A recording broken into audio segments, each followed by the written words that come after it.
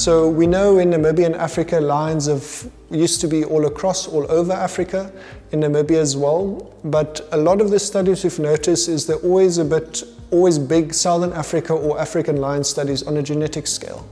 But nobody's, to our knowledge, nobody's really taken the time to, to look at just the Namibian side. So what we've done is we've collected with our collaborators all these samples of the lions to try and look at purely a landscape genetics approach of how these lions are mixing to, to match one another.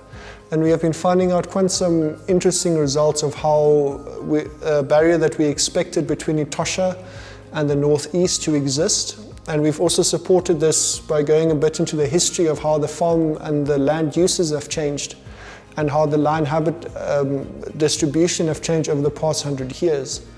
Um, that basically um, corresponded with our results. That was quite interesting in comparison to the northwest where we have these barriers of, or no barriers of uh, lions being able to move from Hobatere all the way to the coast. So basically Tosha all the way to the coast where they can still mix like that. And we've actually still seen that uh, this year, surprisingly, where there was a collared lion that walked all the way to Etendeka from Hobatere area. So that was also quite interesting to see and with the genetics supporting that. And so what we, the big question of course with the lions is we see that we've got, because we have genetic results unlike the Highlands project, uh, we see a lot of diversity in the northeast that has been cut off from the northwest.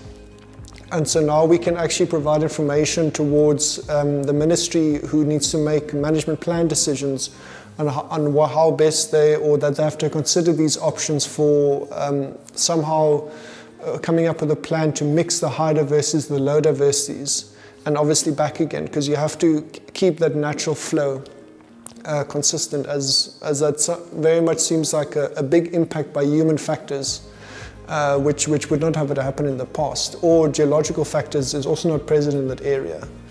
Yeah, so, so those are very interesting questions that we can look at to try and answer uh, using the type of work that we do here, considering different species and most importantly the type of questions uh, we have and want answered.